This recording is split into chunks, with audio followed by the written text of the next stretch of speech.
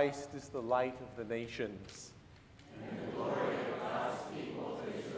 As people of Christ, you are the light of the world. Let your light so shine before others. That they may see your good works. And give glory to your Father in heaven. Come, light of God, enlighten our hearts.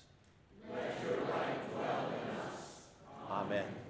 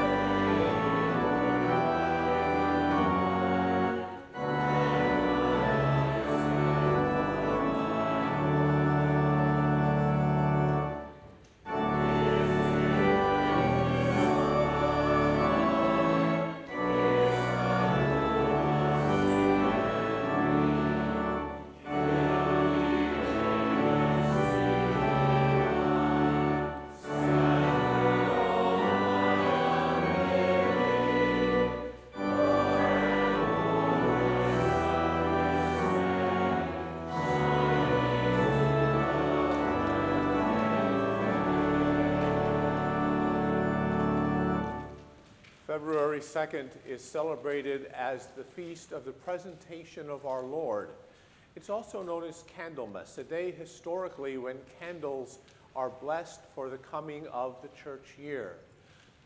This is why we had the procession with the candlelight today, um, based upon the Song of Nicodemus, which we, will also, which we will actually sing and hear three different times in today's service, where Nicodemus proclaims um, that that Christ is the light to enlighten the Gentiles and the glory of the people Israel. So this is a day of light. This is a day of proclamation. This is a day when, we, when our Lord was presented and when we present our lives to God. Grace and peace from God our Father and our Lord Jesus Christ, and the promised gifts of the Holy Spirit be with you all. And also with you. Let us pray. Almighty and ever living God, your only begotten Son was presented this day in the temple. May we be presented to you with clean and pure hearts by the same Jesus Christ, our great high priest, who lives and reigns with you and the Holy Spirit, one God, now and forever. Amen. A reading from Malachi. See, I am sending my messengers to prepare the way before me, and the Lord whom you seek will suddenly come to his temple.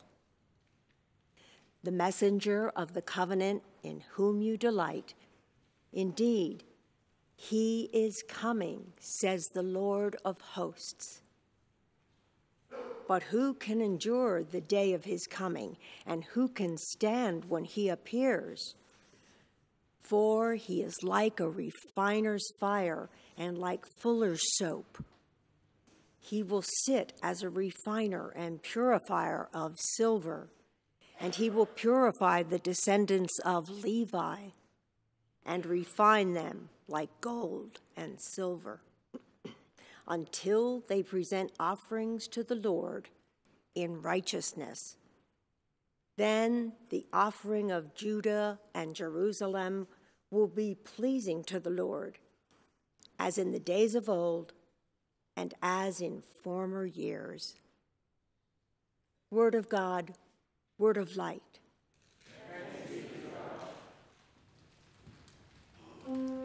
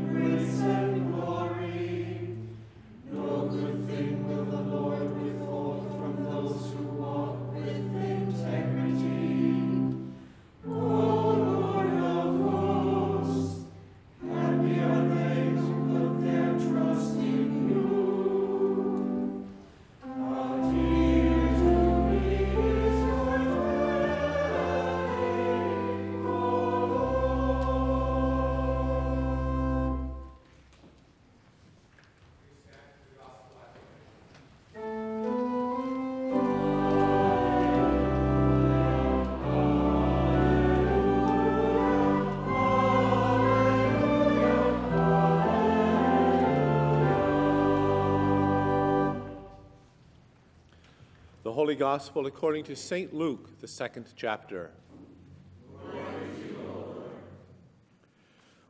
when the time came for their purification according to the law of Moses, Mary and Joseph brought Jesus up to Jerusalem to present him to the Lord. As it is written in the law of the Lord, every firstborn male shall be designated as holy to the Lord. And they offered a sacrifice according to what is stated in the law of the Lord a pair of turtle doves or two young pigeons. Now there was a man in Jerusalem whose name was Simeon. This man was righteous and devout, looking forward to the consolation of Israel, and the Holy Spirit rested on him. It had been revealed to him by the Holy Spirit that he would not see death before he had seen the Lord's Messiah. guided by the Spirit, Simeon came into the temple, and when the parents brought in the child Jesus to do for him what was customary under the law, Simeon took him in his arms and praised God, saying, Master, now you are dismissing your servant in peace, according to your word. For my eyes have seen your salvation, which you have prepared in the presence of all people, a light for revelation to the Gentiles and for glory to your people Israel. And the child's father and mother were amazed at what was being said about him. Then Simeon blessed them and said to his mother Mary, This child is destined for the falling and rising of many in Israel, and to be a sign that will be opposed, so that the inner thoughts of many will be revealed. And a sword will pierce your own soul too. There was also a prophet Anna, the daughter of Phanuel of the tribe of Asher. She was of a great age having lived with her husband seven years after her marriage, then as a widow to the age of 84. She never left the temple, but worshiped there with fasting and prayer day and night.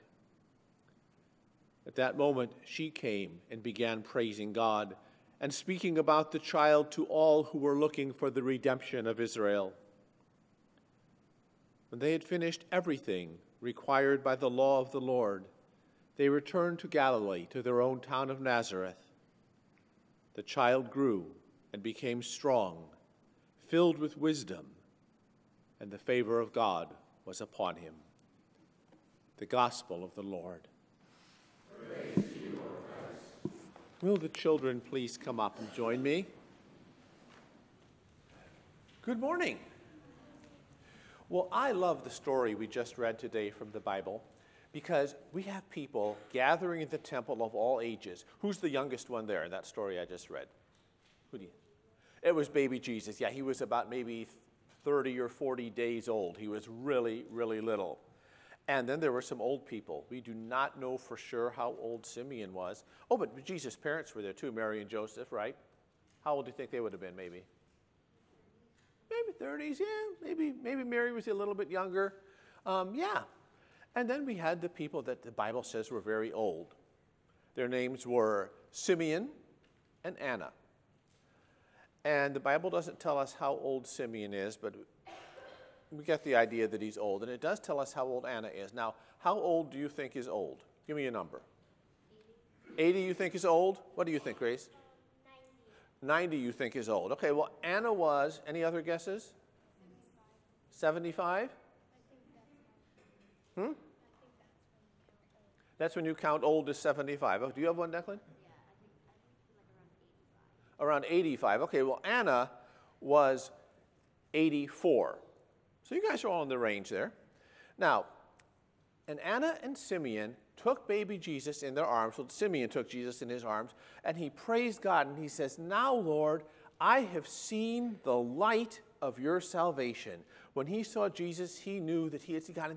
And, then Anna and Simeon told everybody about Jesus right from the start. Now, we cannot say thank you to Anna and Simeon anymore. Do you know why?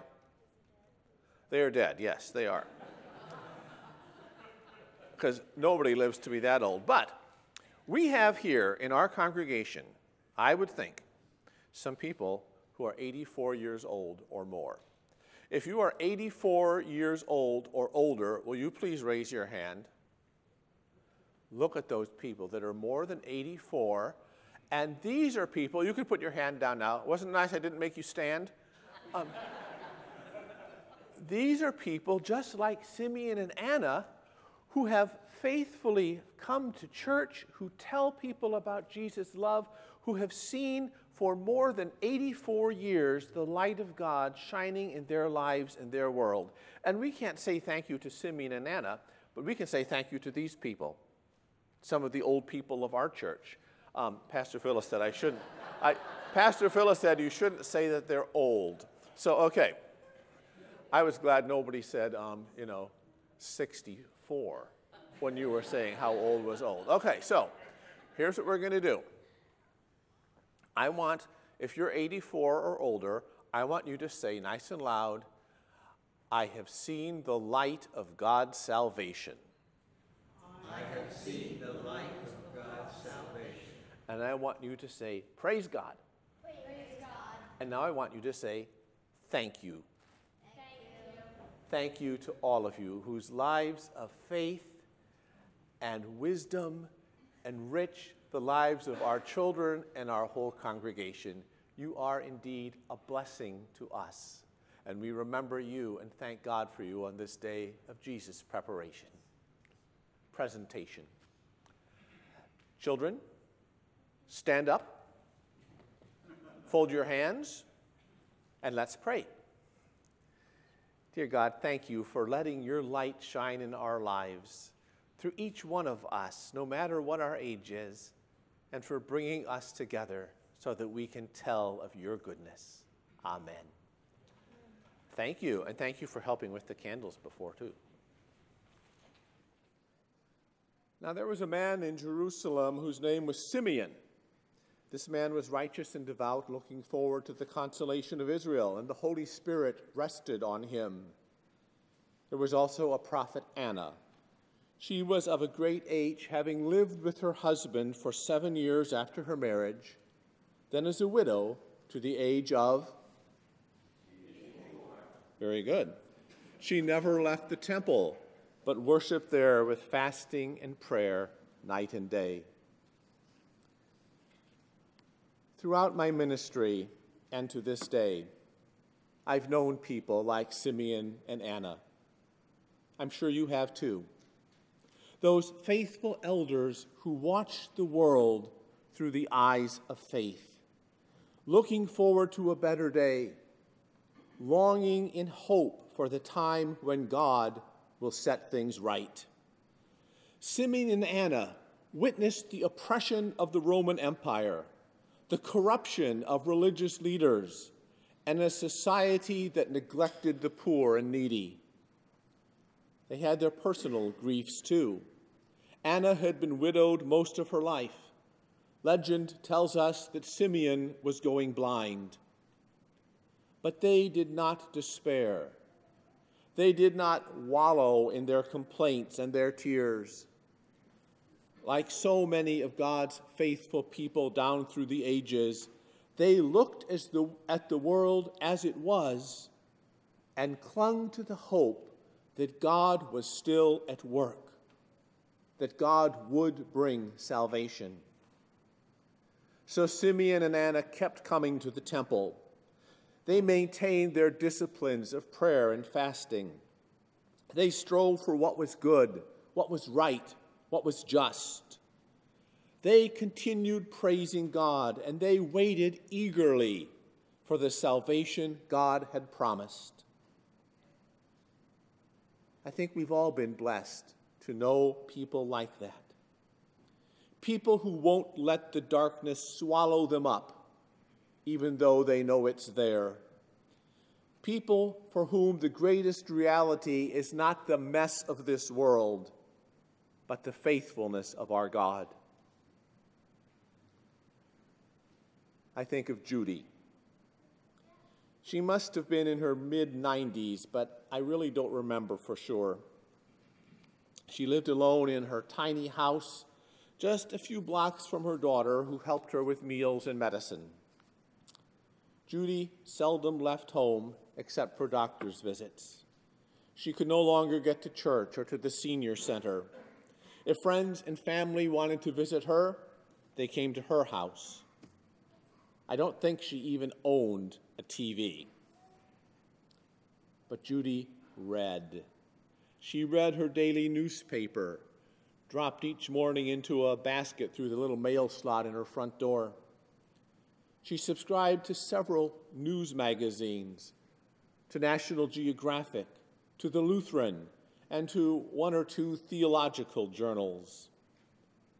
She read her Bible faithfully and prayerfully and had daily devotions. Whenever I visited her, Judy talked about her hopes for the world. She wanted to see peace in the Middle East.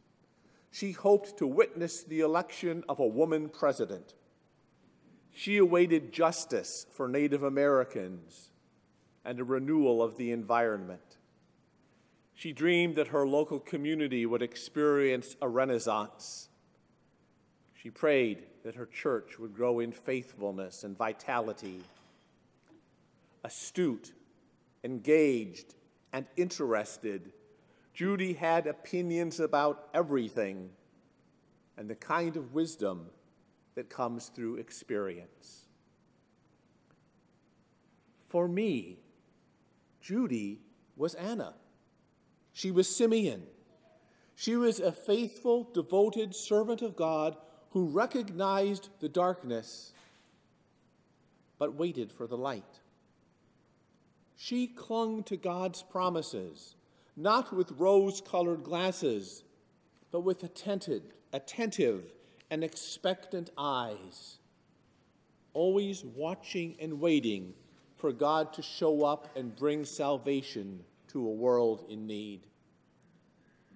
Luke tells us that Simeon waited for the consolation of Israel, while Judy waited for the consolation of her world. Like Simeon, she prayed, and she trusted that God's will would be done. And as she and Simeon and Anna watched and waited, God acted. Simeon and Anna did not see Roman soldiers expelled from their beloved Jerusalem. They did not witness an end to poverty and injustice. But what they did see was a poor young couple humbly entering the temple courtyard with their baby, bringing the offering prescribed for those who were poor two young pigeons. And to Simon, as Simeon and Anna looked upon Jesus, they knew that God was present, bringing light into the darkness of this world.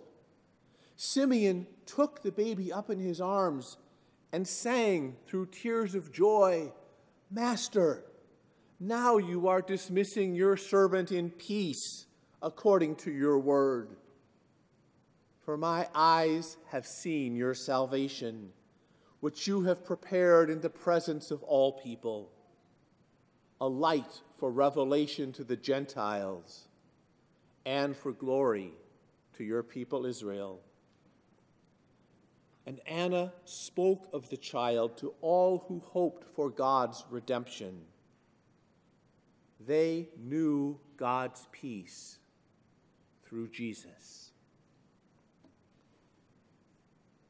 And so did Judy. As I opened my communion kit and prayed with her, I offered her the bread of life and the cup of salvation. The body of Christ given for you, I said. The blood of Christ shed for you. And Judy knew peace. She would die before a woman was elected president before wars would end, before justice could be accomplished. But she would go in peace, for she had glimpsed eternity through her Savior. She knew that God would never fail her and that God would never give up on this world for which Christ died. And that hope gave her strength to keep living in joy, to keep working for justice, to keep striving for peace, to keep loving the people God had given her. What a blessing God has given us in faithful elders, in the Simeons and Annas and Judys of this world. They see life more clearly than most. Its sorrow, its challenges, its brokenness, and its sin. but they see it all infused with the light of our Savior, whose love fills every moment, whose grace embraces every hurt, whose promises come to us in the smallest ways to fill us with the hope of eternity. God blesses us like them to live in the light, to not weary of doing good, and to proclaim in word and deed the good news of God's redemption. With them, we can go in peace. God's word has been fulfilled. Amen.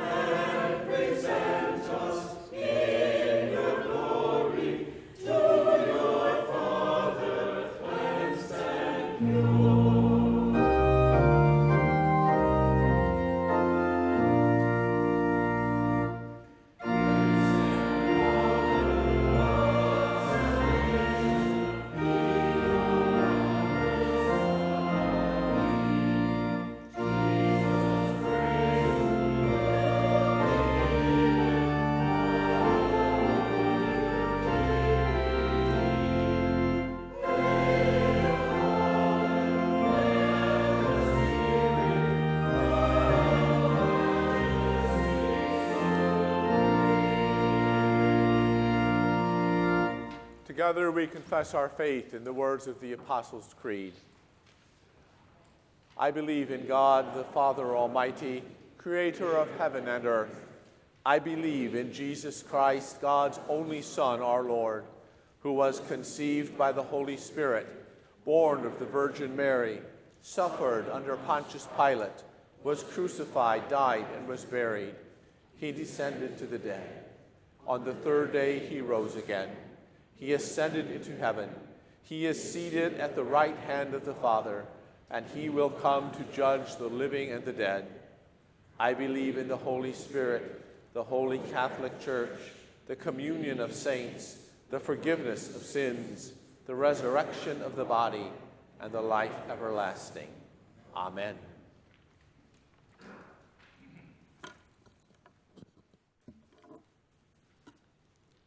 Called together through water and the world, we boldly pray for the church, the world, and all who long to hear God's voice. Almighty God, you grant wisdom to our elders in every land and generation. Give senior citizens boldness to share their faith and a spirit of curiosity and joy to continually learning as your disciples. We pray today for Christ Episcopal and Father John, St. Mark's Lutheran and Doug, Christ Lutheran and Pastor Katie, and Common Ground, Pastor Tom and Emily.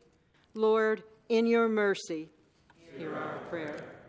Everlasting God, you provide beauty and warmth in sun, moon, stars, and fire, and you give us abundant gifts of water, land, and air. Break our patterns of overusing resources across the world so that all experience your beautiful creation. Lord, in your mercy. Creating God, thank you for your daily presence in our community and throughout the world. Inspire leaders with your strength and wisdom that all communities may be safe places for children, adults, seniors, infants, and youth. Lord, in your mercy. Incarnate God, thank you for being born among us and experiencing human pain and sorrow. Bring wholeness to all who live with chronic illness and rest your spirit on those who are near death. Strengthen the sick, especially Don, Egons, Tina, and David. Bless those who care for them. Lord, in your mercy. Merciful God, you encourage us through strong communities of faith. We pray for our congregation, those who worship among us, and those who are absent. Especially, we remember today Tony, Sherry, Allison, and Megan, Bill, Jill, Austin, and Alexandra, Mark, Marlene and Daniel, and Deborah, Keith, Kristen, and Kurt. Open our hearts and minds to new people and ideas. Bless our vibrant traditions that bring life and hope. Lord, in your mercy. God of hope, thank you for the saints who have gone before us. Keep us faithful in service to you until we are one with you, all the faithful departed. Lord, in your mercy. We place our prayers before you, God, united in your spirit through your beloved Son, Jesus Christ our Lord. Amen. The peace of the Lord be with you always.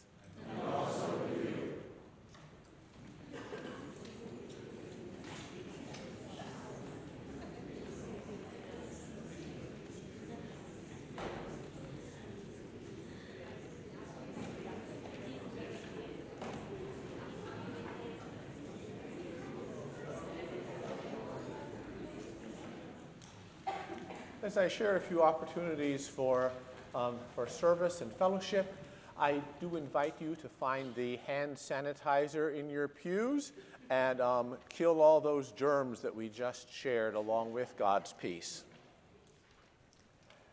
Um, today is a, um, is a beautiful and momentous Sunday because three things come together today the presentation of our Lord, um, which we've already talked about, Super Bowl Sunday, and Groundhog Day.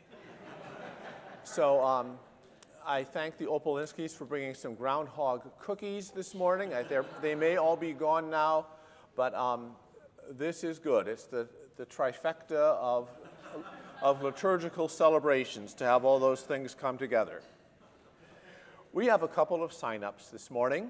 One is for the Mardi Gras. You can see Annie Harlan to RSVP to that um, wonderful um, Mardi Gras lunch that we'll have on February 23rd, uh, which is Transfiguration Sunday. And then you can um, talk to Sue about the Winter Cafe. That is on the 19th of February, where we will serve a meal to our neighbors. You may um, volunteer your time, or you may volunteer food. You may volunteer both of those things, and of course, you're free to volunteer none of them, but um, that wouldn't be good. Um, we have some opportunities, uh, there are opportunities to share our blessings today. Um, kids will be in the back collecting for the Super Bowl of Caring, which is a nationwide effort to feed the hungry on Super Bowl Sunday. Um, so much money is spent on each advertisement, on, on hotels, on Super Bowl parties, on everything um, that, um, boy, more than two decades ago, there started with one congregation that said, let's raise some money on Super Bowl Sunday to provide soup and good food for people who are in need. That has grown so that um, tens of millions of dollars have been collected over the years. The, the money and the food is collected locally. It is distributed as each congregation sees fit. Ours will be shared with St. John's Food Pantry that we support and also with um, the ELCA Hunger Appeal. So if you want to throw some money into the pot today afterwards, if you want to, you may do it with a prayer for your favorite Super Bowl team. Um, not that that makes any difference. Also, there are bags of blessings distributed today. You may take those home and fill them with non perishable food goods. They particularly would like some um, oatmeal, not instant. And they also need some gallon Ziploc bags because they get some food donated in bulk that they have to then zip up and, um, and portion out for families. So, Ziploc bags are great if you've got some of those. We're also collecting shoes. Um, gently used or new shoes. Don't bring old beaters. And there are boxes both in the narthex and down in the hints room that you can donate those for an upcoming youth project. Let us now worship God together with our offering. The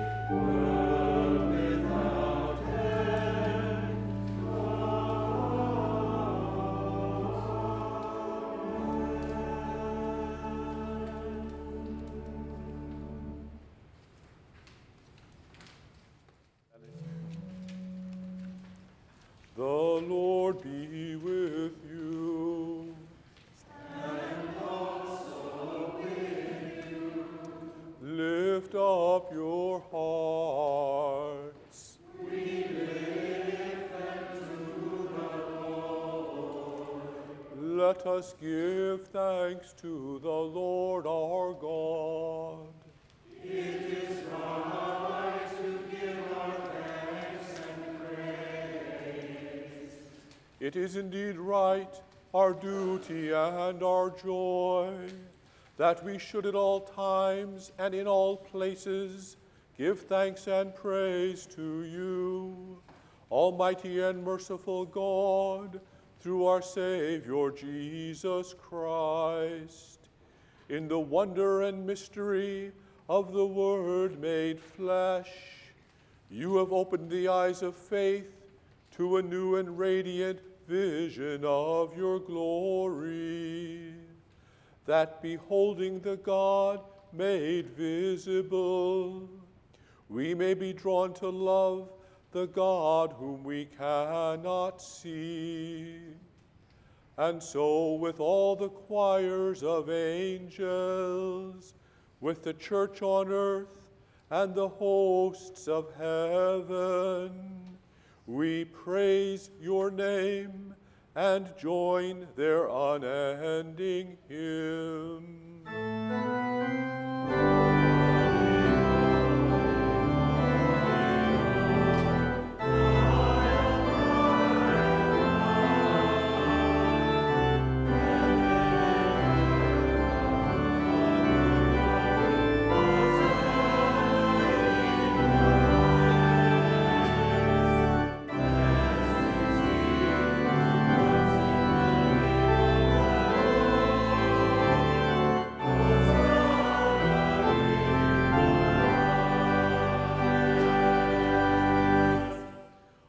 Holy God, holy and mighty, holy and immortal, you we praise and glorify. You we worship and adore.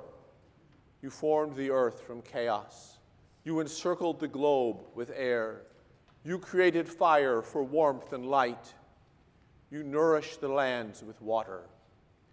You molded us in your image, and with mercy higher than the mountains, with grace deeper than the seas, you blessed the Israelites and cherished them as your own, that also we, estranged and dying, might be adopted to live in your spirit.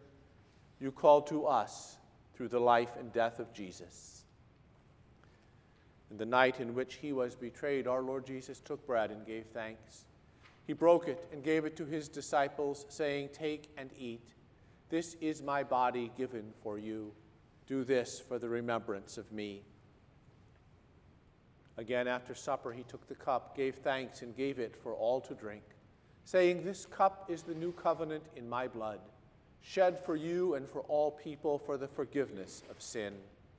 Do this for the remembrance of me. Together, as the body of Christ, we proclaim the Lord's death until he comes. Christ has died, Christ is risen, Christ will come again.